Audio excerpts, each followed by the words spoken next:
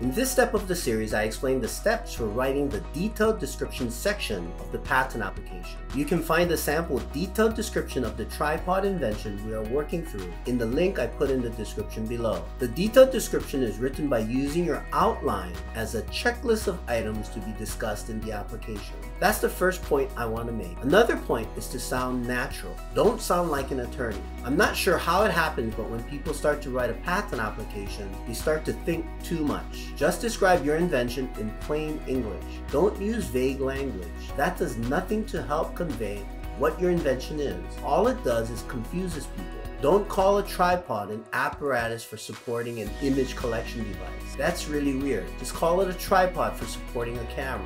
That sounds much better and it's more understandable.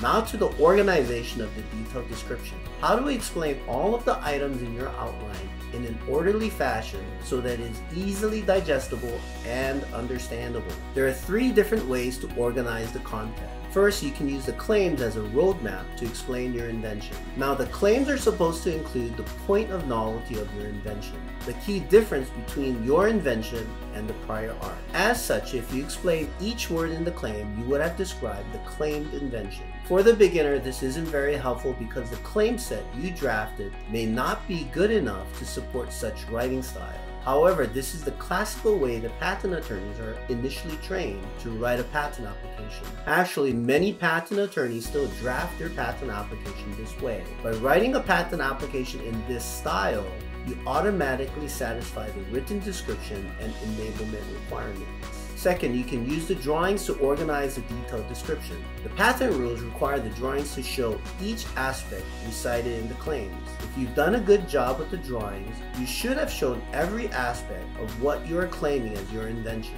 As such, if you describe every aspect of the drawings, you should be describing all aspects of the invention. Third, you can describe each benefit and the structure associated with achieving such benefit. This style of writing is harder to get used to, but it makes the detailed description much more like you're telling a story. Whichever style you use, you should be reviewing your outline. Whenever you are discussing a part or benefit, look at your outline to see if you need to mention other things. This way, all of the items in the outline will eventually make it into the detailed description. Try out the three different styles and see which one fits you best. Next, you have to include numbers in the written portion of the application, which refer to the numbered parts in the drawing. For example, whenever you say camera, you can associate a number with it, say 10. The camera would be referred to as camera 10 in the detailed description. You would also mark the camera shown in the drawings as 10. You can use a lead line, an arrow, or a bracket to indicate that the number 10 refers to the camera. To see how this works, you can download a sample detailed description and drawing for the tripod example we've been using in this series by clicking on the link in the description below. Click on the next video to learn more about writing the brief summary section of the patent application. I also put a link in the description below to resources to help you with this step.